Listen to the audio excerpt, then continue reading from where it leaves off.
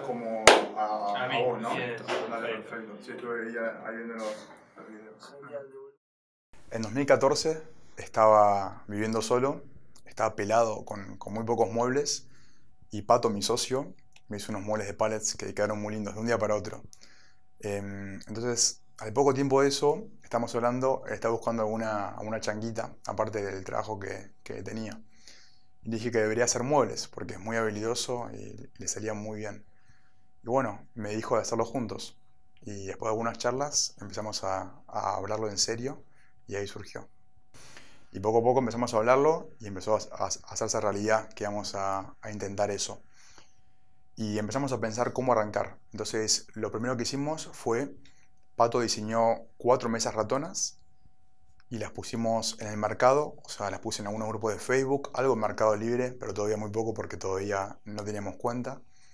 Em, y lo comunicamos un poco y empezamos a recibir devolución del lado del consumidor. Em, y así fue como arrancamos.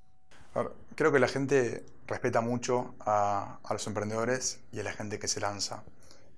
Entonces, por suerte, nuestra familia y amigos siempre nos bancaron, siempre nos apoyaron. Creo que al principio pensaban que mm, era más una idea que una realidad y poco a poco empezaron a ver que, que era algo real, o sea, que íbamos a hacerlo. Pero siempre nos apoyaron y eso fue, fue buenísimo porque mm, el proceso es duro. La verdad es que antes em, no era tan fanático de los muebles, esa es la realidad. Pero, pero bueno, de a poco, cuando surgió esto, empecé a meterme, empecé a investigar y lo que sí empecé a ver es que la casa y la comodidad impactan en la felicidad de la gente. Hay estudios que demuestran eso, que estar cómodo impacta en, en la felicidad de las personas. Y bueno, eso sí me interesó y empezamos a meternos y cada vez se hizo más interesante. A ver, cuando, cuando fabricas muebles necesitas lugar físico, pues los muebles son grandes y también necesitas maquinaria para fabricarlos. Entonces, al momento de empezar, nosotros no disponíamos de plata. Entonces dijimos, bueno, ¿qué es lo mínimo que necesitamos para empezar a fabricar? Y ahí compramos una sierra circular, una lijadora. Para darte una idea, 15 lucas de hoy. Em, o, menos también. Entonces, pero que, queríamos crecer más rápido que eso. Entonces empezamos a buscar financiación.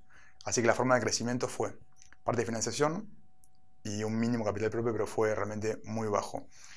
Y lo que es lugar de producción, como tampoco disponíamos eso y alquilar un lugar es caro, lo que hicimos fue fabricar, em- empezamos fabricando en la casa de Pato, que era un quilombo, la verdad era tremendo porque hacíamos mucho ruido, em, pero la familia nos bancó por suerte.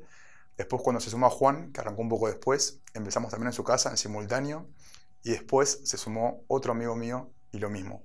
Así que llegamos al punto de que estamos fabricando en tres casas, cada una equipada con lo mínimo y poco a poco, bueno, por suerte fuimos pudiendo equiparnos cada vez más.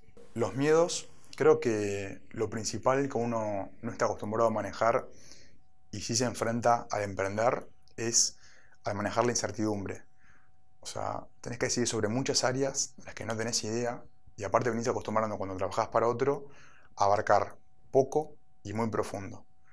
Entonces, creo que mm, ese miedo es uno de los más, o sea, de los que más presentes están. Lo bueno es que te vas acostumbrando a eso y también te acostumbras a apoyarte en las personas que saben de esas áreas para aprender a decidir sobre eso. Entonces, creo que eso es lo principal. Lo más complicado son las finanzas y los números, porque los costos se disparan. No puedes trasladar eso a precio a consumidor porque la gente no lo paga o no puede pagarlo. Entonces creo que lo más delicado son las finanzas y también la parte de financiación. Si necesitas caja o, o- o financiación, los costos son muy altos y todo es, es complicado. A ver, creo que separar es muy difícil. Em, lo busco cada vez más por un tema de salud y también por un tema de, vivir, ¿no? Pero es difícil, es una realidad. Es difícil. Yo en este momento estoy como tomando las herramientas para separar cada vez más, tipo un teléfono aparte para el laburo y otro personal y demás. Pero bueno, te reconozco que no es nada fácil. Creo que me siento cómodo como, como líder. Sé que tengo un montón que aprender y que mejorar muchísimo. Pero, pero bueno, creo que con el tiempo me fui sintiendo cada vez más cómodo y aprendiendo a manejarme en ese rol. Em, me parece que lo fundamental es ser muy autocrítico y también muy transparente y con buenas intenciones, ¿no? Y con eso me parece que, la cosa va, va bien.